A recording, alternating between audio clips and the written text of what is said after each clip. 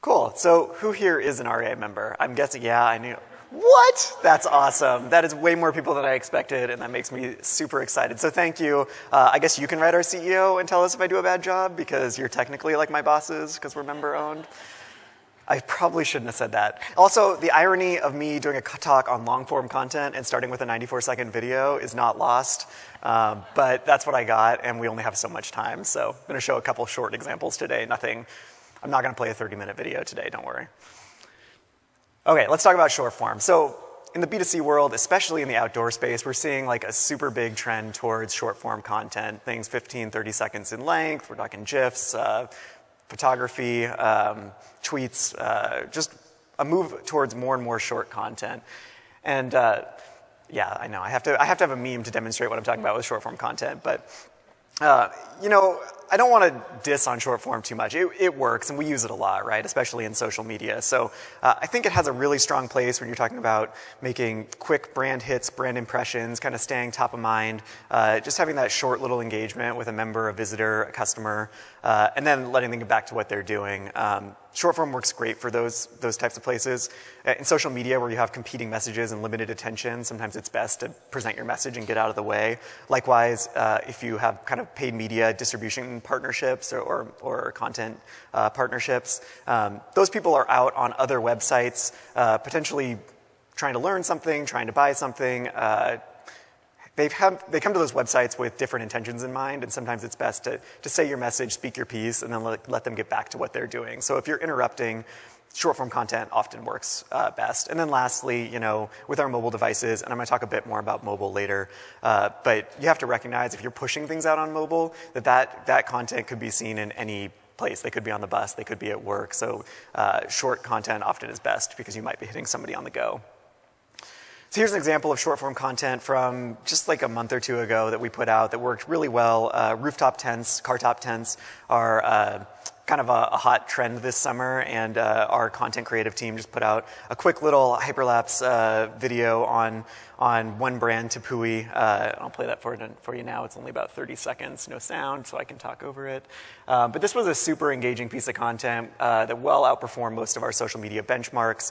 Uh, 420,000 views, almost 6,000 shares, and then you know it's not just about impressions and shares with this kind of content. We also saw 171% lift to associated product and category pages uh, related to this brand and this category of products. So, um, just an example of short form content that does work for us. So, I'm not hating on it. Uh, we also have some really great success with. Um, hacks, tips, tricks, pointers, kind of blog posts around camping, camp cooking, tent repair. Uh, you know, often just photo, uh, quick line of text, maybe a GIF, maybe a, a short form 15 second video.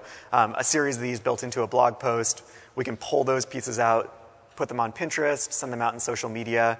Uh, really great engagement, and, and people are eating it up. But short form, I do believe, has its limits, right? So, uh, especially like talking about the video that I played about the REI brand and our, our story as a co op, that was a pretty concise version of it, but there's a lot more message behind there that we like to communicate about our love for the outdoors, about our shared passion with our members for the outdoors. And when you're talking really short form content, there's only so much message that you can convey. Uh, it's really hard to create meaningful engagement with your audience on those. That's where I think you have to stop looking at short form and start thinking about long form.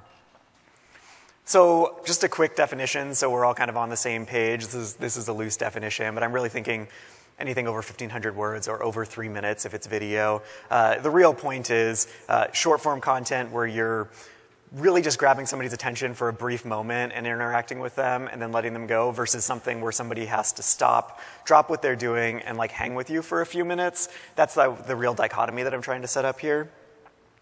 So I'm going to ask you guys to believe. I think, I think to start making the investment in long form content, it kind of takes a little step uh, of belief that, that long form content has a role and has potential. Uh, oh, this is getting cut off.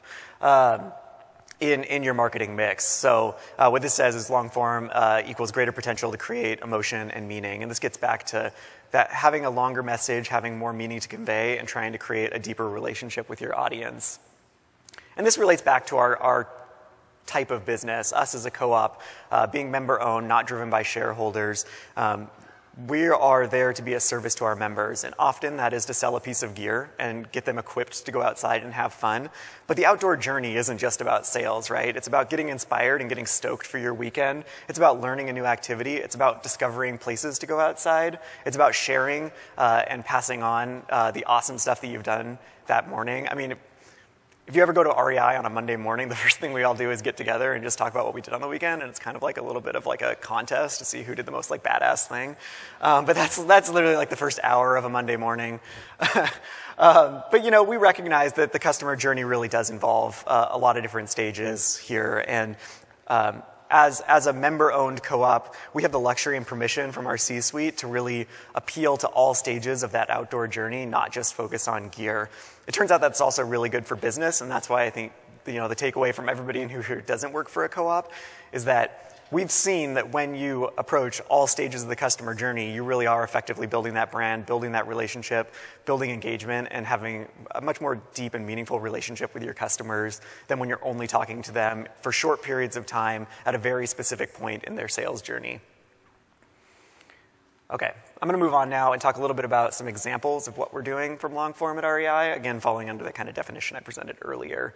Uh, I don't expect you to read this, it's really small, kind of shrunk it down to make a point. Uh, we have a library of articles, there's about 450 of them, uh, called Expert Advice. It's a learning library of how to's. Uh, this is one article, How to Choose Running Shoes, obviously a bit more uh, tailored to the, the buying stage. This is a 3,500 word article. We cover everything from the types of running shoes to pronation, overpronation, uh, running style, um, how to fit running shoes.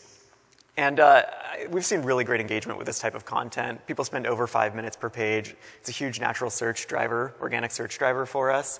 And overall, uh, these are, these are long form pieces of content that are performing really well for us. They average 3,200 words. Uh, one interesting stat that I found as I was digging through for this presentation um, people are spending 5.5 minutes on mobile devices on these articles and only five minutes on desktop. So I think you often hear that people aren't reading on mobile. Well, this is evidence that we're seeing that people are actually engaging deeper and more meaningfully with our long form how to articles on mobile devices. And this kind of makes sense, right? Like we have articles on how to adjust the rear derailleur on your bike. And if you're on your mobile device, you probably, because you're in your garage and you have your bike in front of you, and you're like, you know, fiddling with that, you're like replaying the video, and then you're like looking at the diagram and like going back, and you're spending some really quality time engaging with it, like as you're doing it. And then lastly, uh, another piece of, uh, I don't know, rah rah for this section of our site. Uh, you know those little links at the bottom of the page that say like got feedback? So how many people here have ever clicked on that to say something nice? Wow, there's, oh, I got, I got two. Cool. Yeah, right. That's kind of like, I, I don't, cesspool the internet might be too strong of a word, but it's definitely like where we have strongly worded feedback and criticism, right? We mostly say negative things on there. What's really interesting is that on our expert advice library, more than half the comments that get left from those links are actually positive. Just somebody dropping a kudos saying, thanks, this helped me, uh, really appreciate this, uh, you guys did a great job. And it, consequently, it's the most positively reviewed section on rei.com. We just get stunning, glowing feedback on a daily basis about the articles that we have out there in the world. So expert, expert advice is one example of written content that works really well. I also want to talk about video. Um, in the spring, we launched our first uh, uh, content driven marketing campaign uh, around three different trails across the United States. Um, we told really interesting and inspirational stories from each of those trails and put uh, six to 10 minute videos at the forefront of our marketing efforts around that content. So that video is called Trail Angel. You can find it on YouTube. Uh, it features Ponytail Paul, who's the guy uh, you saw. He's, he's what we call a trail angel, someone who shows up for through hikers, people hiking the Pacific Crest Trail or the Appalachian Trail, who spend months at a time in the wilderness, uh, and he provides just bits of trail magic. So whether that's showing up with hot dogs or donuts or beer, uh, other people, you know, give lifts to people as they cross the highway, getting them into town, let them stay in their yard uh, for a couple nights and, and kind of have a break from the trail. Um, and, and, we kind of get in in that piece into the story behind Paul and, and the, the struggles that he's overcome in his life and how he finds kind of balance and, and meaning in, in being a trail angel. This is a six minute video. It has almost 3 million views. Um, on YouTube, the average visitor gets 50% of the way through it, which I think for YouTube, at least by our benchmarks, is, is really successful. And then I think really impressively, for people who, have, who engage with this content on our website, 73% of them watch the entire video, all six minutes. So I think short form, long form, if you can get anybody, to, 75% of anybody to hang with your entire piece of content on your site, you probably have a good story to tell. A couple other examples of long form content that we're doing across different mediums. Uh, we've been working with a group called the Dirtbag Diaries, doing a series of podcasts that are 15 to 30 minutes in length, exploring different avenues of the outdoors. Uh, a really great opportunity to kind of hit a niche uh, podcast market and, and tell stories in a different, in a different medium. We've also been uh, working with production companies on producing longer video. Frank in the Tower is a 10 minute video on uh, a guy who, he's, a quirky guy, you guys should check it out. Uh, he's climbed the Devil's Tower a couple hundred times, uh, and he's, you know, I think he's in his 70s or 80s now and still out there climbing and, and just an awesome character. Uh, in that, as part of that Trails campaign, we also had two other uh, videos that were around 10 minutes. One on this ultra marathoner named Errol, who again, if you're seeing a theme, it's an interesting personality. And then lastly, you know, we've been working on long form content on our blog. So, so we've had long form written content in kind of a how to uh, learning mentality. We're also looking at long form content more in an inspirational capacity. So we told the story of two friends who, uh, or a friend who, who lost um, a buddy in, in action in war, uh, and to commemorate his, his life, they hiked the Appalachian Trail, and, and it's kind of the story of their whole, whole journey and, and finishing the Appalachian Trail.